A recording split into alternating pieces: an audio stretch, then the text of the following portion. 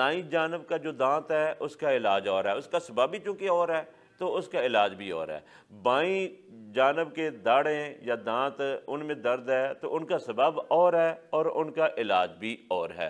वो मैं दोनों आपके सामने ज़िक्र करता हूँ। इस मरीज़ ने ये तो ज़िक्र नहीं किया, बहरहाल मैं ज़िक्र कर देता हूँ।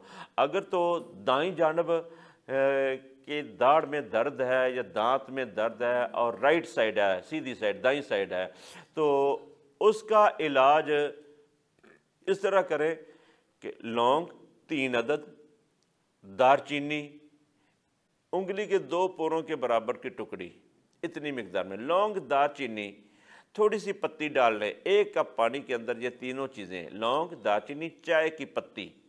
ये तीन चीज़ों का कावा बनाकर पिए और इसके फ़ौर बाद ही दर्द कम होना शुरू हो जाएगा।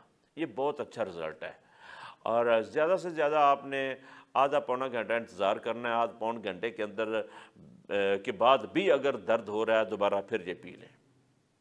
जब तक ये दर्द ख़त्म नहीं होता, रुकता नहीं है वक्ता फ़वक्ता घंटे बाद, डेढ़ घंटे बाद, दो दो घंटे बाद ये कावा पी सकते हैं। अगर कब्ज़ है तो इसके अंदर इंजीर शामिल कर लें या शहद शामिल कर लें तो बहरहाल इससे मसला हल हो जाएगा। लेकिन ऐसे मरीज़ को राइट साइड के दाढ़ के दर्द का जो मरीज़ है, ऐसे मरीज़ को ठंडी कोई भी चीज़ नहीं इस्तेमाल करनी चाहिए। हती कि दूध वाली सारी चीज़ें, हर वो चीज़ जिसके अंदर दूध शामिल है, उनसे ब्रेक लगानी पड़ेगी।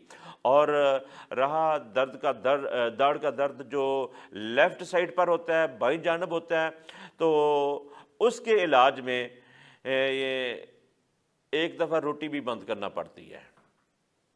रोटी बंद कर दें और उसके लिए उबले चावल, दूध, शक्कर डालकर, ये खाने से बड़ी जल्दी फ़ायदा होगा। इसको तेज़ करना है तो दूध पिए इस तरह का कि दूध के अंदर एक गिलास दूध है ना, उसके अंदर तीन, चार सब्ज़ इलायची, छोटी इलायची जिसे कहते हैं। छोटी इलायची डाल दें और एक बड़ा चमच भरकर सौंफ का डाल दें। ये दूध तैयार करें, हल्की आँच पर पकाएँ। जब तैयार हो जाए, जोश आ जाए, हल्की आँच पर।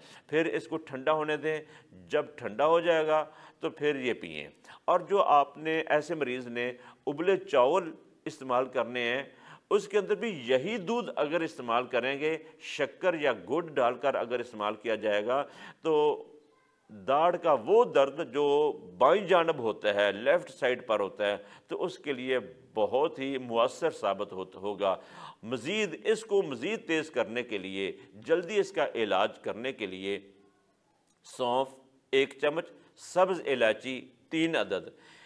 एक कप पानी के अंदर हल्की आँच पर यह कहवा बनाएँ चीनी या शक्कर डालकर ये नीम गर्म पीने से भी फ़ायदा होगा। ठंडा करके पिए तो उससे भी फ़ायदा होगा। जब तक ये फ़ायदा नहीं होता, तब तक ये अमल दोहराते रहें घंटे घंटे दो दो घंटे बाद दोहराते रहें। तब तक आपने रोटी भी नहीं खानी। नरम गज़ा इस्तेमाल करनी है, नरम गज़ा से मुराद ये उबले चावल, इसके अंदर दूध इस्तेमाल करें दूध जो मैंने ज़िक्र किया है। और इसके अलावा दूध रस भी आप इस्तेमाल कर सकते हैं, केले का मिल्क शेक भी इस्तेमाल कर सकते हैं, केले वैसे भी खा सकते हैं। और केले के मिल्क शेक में यही दूध सौंफ इलायची वाला इस्तेमाल करें तो रिज़ल्ट आपके सामने होगा। इतना अच्छा रिज़ल्ट मिलेगा कि आप खुद हैरान होंगे कि ये इतनी जल्दी फ़ायदा कैसे हो गया। बशर्ते कि आपने कोई गर्म चीज़ नहीं खानी और आपके पेट के अंदर, मैदे के अंदर रोटी ना हो तो फिर आपको रिज़ल्ट मिलेगा इंशाल्लाह।